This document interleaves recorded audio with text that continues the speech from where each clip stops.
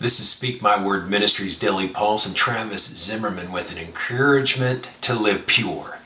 And let me just jump right into the scriptures here. This is Paul in First, First Thessalonians chapter 4, verses 3 to 8, and encouraging us to live pure. And here is what Paul shares about it.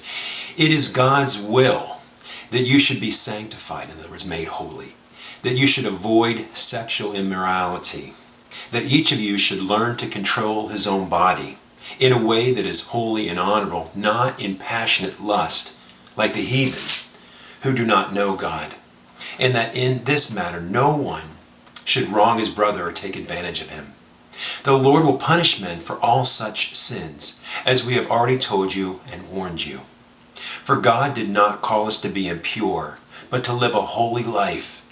Therefore, he who rejects this instruction does not reject man, but God who gives you his Holy Spirit. That's 1 Thessalonians chapter 4, verses 3 to 8. Live pure. You know, and that, that, that whole issue of sexual immorality, you know, it, it, it comes down to that, doesn't it? Do not you know, learn to control your body, not in passionate lust like a heathen. And that's hard, isn't it?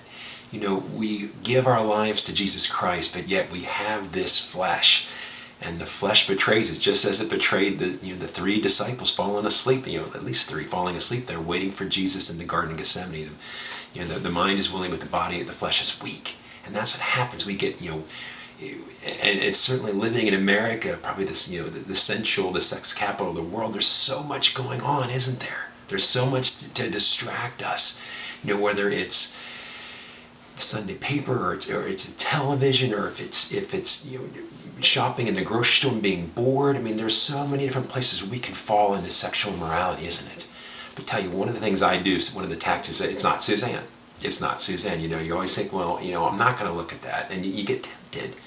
And that's when we've got to hold on to Jesus Christ with all we've got. Because, you know, it, it, it's in those moments when we can just really show our love for Him.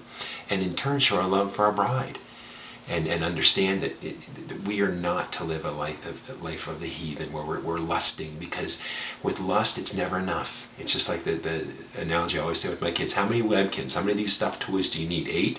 Well maybe nine daddy. Well 10 uh, 13 i'll be happy with 13 and so it is with lust. And sexual lust we're never satisfied the person, the entity, the God, the Savior that satisfies us in all situations is Jesus. And that's why I encourage you to take Paul's words to heart. Do not live in sexual immorality. Grab on to Jesus with all you've got in your name, Father. Amen.